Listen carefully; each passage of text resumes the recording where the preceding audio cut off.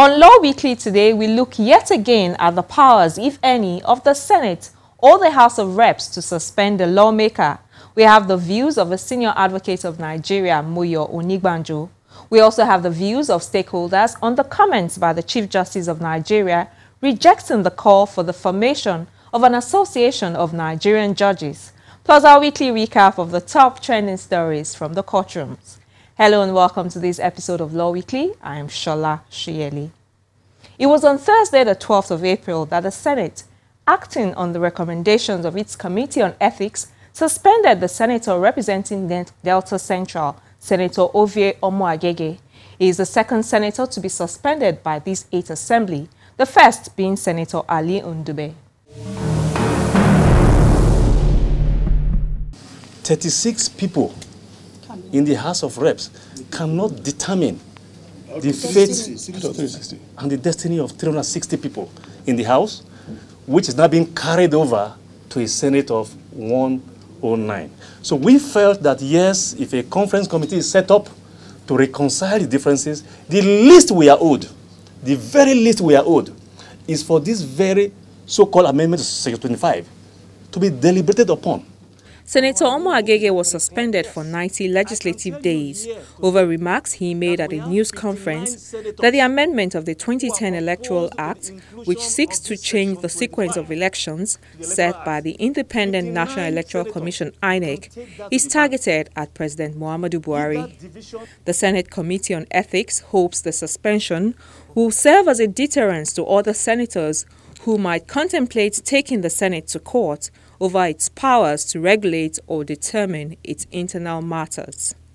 The recommendation predictably attracted several reactions from his colleagues.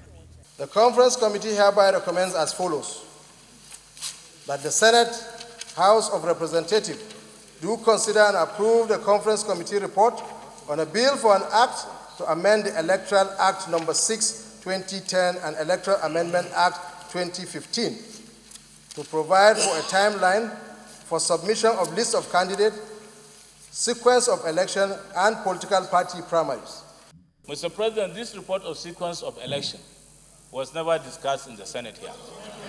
It was never discussed in the Senate.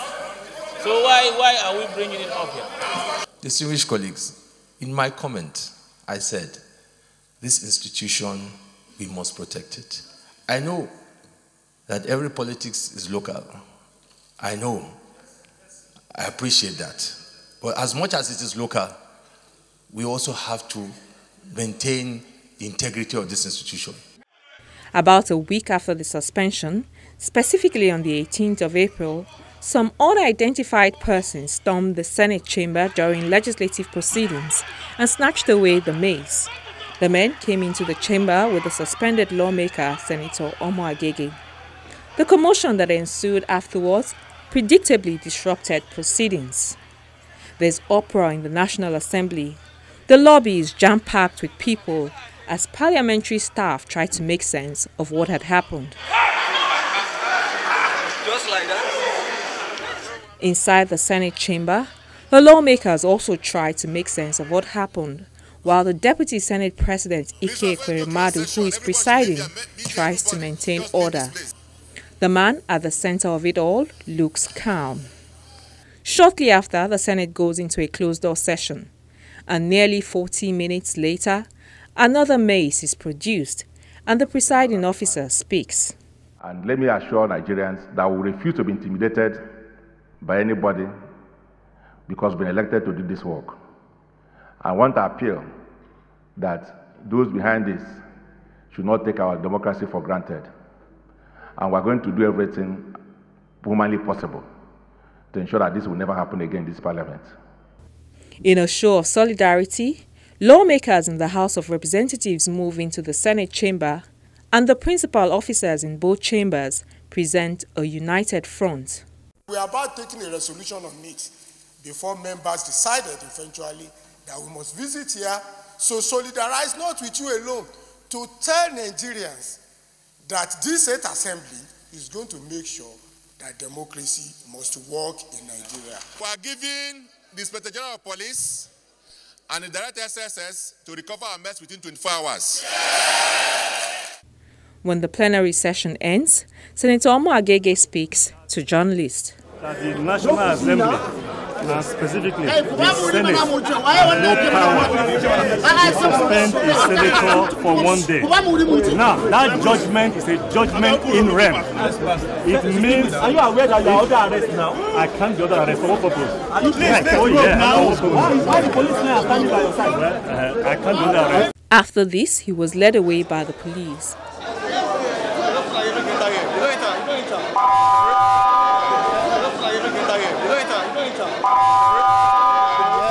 Was released a few hours after, and one of the first steps he took was to approach the Abuja High Court to seek an interim injunction against arrest or detention. The Chief Judge of the Federal Capital Territory High Court, Justice Ishaq Bello, granted his request and ordered the Nigerian Police, the Department of State Security DSS, and the Attorney General of the Federation from arresting or threatening to arrest him pending the determination of a fundamental rights enforcement suit he filed against them. The matter will come up next on the 6th of May. Meanwhile, reactions have predictably trailed the whole incident, and one of the earliest was from senior advocate of Nigeria, Femi Falana, who described it as embarrassing. The National Assembly leadership and all the legislative houses in the country are being told that they must learn to operate under the law and not above the law. In other words, no legislative house can suspend or remove a member. Only a court of law or the constituents that elects them can, can do so. My guest, Mr. Moyo Onigbanjo, thinks the whole issue has been blown out of proportion, especially when one considers the legality of it all. Here is his reaction. It's, it's dramatic, you know, watching it on live TV. But the consequences, again, I think have been over dramatized in terms of the perception that Without the mace, the Senate cannot conduct its business.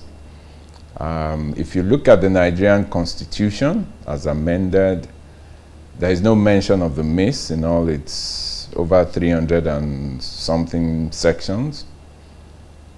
The rather what gives both and what gives the National Assembly powers to conduct its business is once they form a quorum. There is no mention that the mace has to be there. There is no reference to the mace. All the law says is that once they form a quorum, they can sit to conduct business. So, uh, uh, uh, you know, whilst, I mean, one does not want to see such brigandage at the National Assembly, the legal consequences are completely different. It doesn't stop them from conducting their business.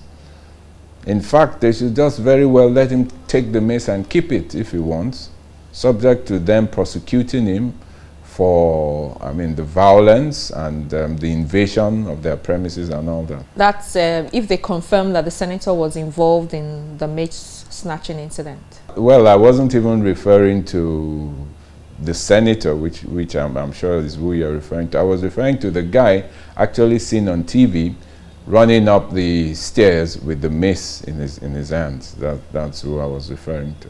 But let's look closely at the circumstances surrounding this whole issue. Legally speaking, can the senators suspend one of theirs? Because I've heard that there are court decisions to the contrary.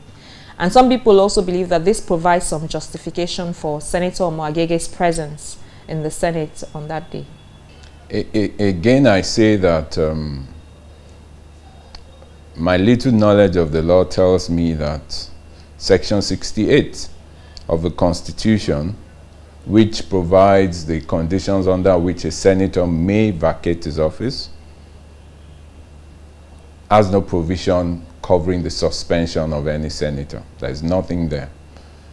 Again, I think the National Assembly must take into cognizance that a representative or a senator is not representing his or herself in the National Assembly. Is representing a constituency. Section 48 of the Constitution says each state shall have three senators. There are three senatorial districts. The people in each of these senatorial districts vote for a senator to represent them. My query to the National Assembly, which I have said before, is that what power does the National Assembly have to take away the voice of a senatorial district in the National Assembly? There is no power in the, in the Constitution. Now, I've had the argument that in their own guidelines, in the Senate's own internal guidelines and rules, that the provisions are there. But that, those provisions in their own internal guidelines can never override constitutional provisions. It says there must be three senators. The Constitution also provides the means for removing a senator. So, I think to my mind, the, the senators have no right, neither does the House of Reps, to remove a member. This matter has also engaged, I think, about two or three courts. And in both instances, they have ruled against the National Assembly. In the, in the Senator Mohamed Ali Ndume from Borno South Senatorial District, the, the court, Federal High Court Abuja, they ruled in his favor that the Senate was wrong to have suspended him. Similarly, in 2010, again the Federal High Court ruled that the House of Reps was wrong to have suspended 11 of its members. So these decisions, these judicial decisions, are in line with the interpretation that most reasonable people give to these constitutional provisions. So there's no doubt in my mind that the Senate does not have the powers to suspend any of its members.